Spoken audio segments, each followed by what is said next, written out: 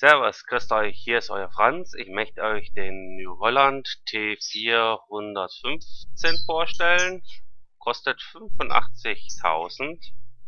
Der hat äh, 115 PS, 85 kW. Der hat jetzt äh, 40 PS mehr als wie der Standard.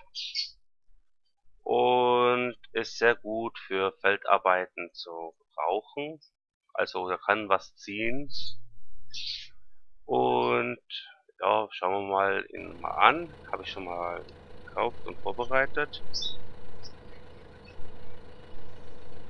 Mhm. Und schauen wir von außen an.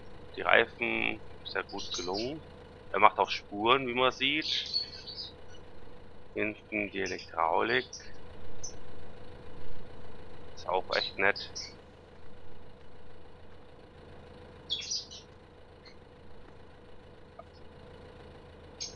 Frontelektronik hat er keine, aber man kann einen Frontlader montieren.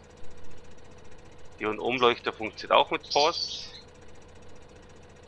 Linker links mit Numpad 1, Blinker rechts, Nummer 2. Oh, der Taro funktioniert auch. Drehzahlmesser. Nur eins finde ich schade bei denen. Vielleicht kommt das ja noch nach. Wie man sieht, also die Außenspiegel gehen nicht. Ich habe es probiert, versucht. Geht nicht.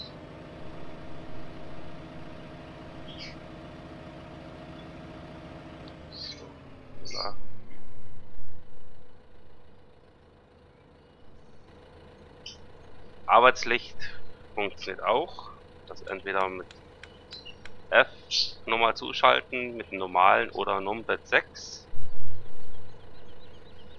Wenn euch die Mod-Vorstellung gefallen hat, also würde mich freuen, einen Kommentar oder Daumen nach oben.